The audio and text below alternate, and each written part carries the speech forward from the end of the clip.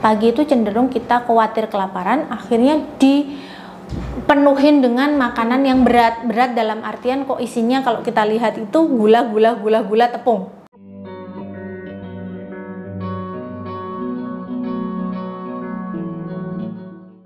Halo moms and dad, saya Dr. Santi Sriwulan dari IBCLC. Saya konsultan laktasi bekerja di Rumah Sakit Tambak.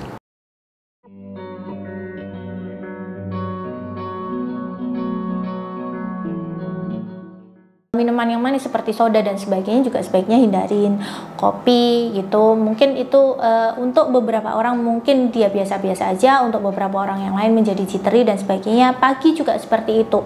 Pagi itu cenderung kita khawatir kelaparan akhirnya di penuhin dengan makanan yang berat. Berat dalam artian kok isinya kalau kita lihat itu gula gula gula gula tepung.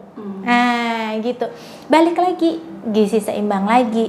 Orang suka takut nanti kalau aku makan sayur lapar, kalau aku nanti makan sayur ya gitu. Sayurnya tetap ada, karbonya tetap perlu ada, protein hewani, protein nabati. Jadi uh, telur, ayam, ikan, daging, boleh apa pun adanya telur ya telur, apa pun yang ada di sekitar kita, uh, kacang-kacangan dan sebagainya. Jadi yang perlu dihindari adalah tadi makanan e, kita itu cenderung kenyang sebenarnya dengan makanan manis dan gurih hmm. itu kenyang ya udah akhirnya makannya itu aja gitu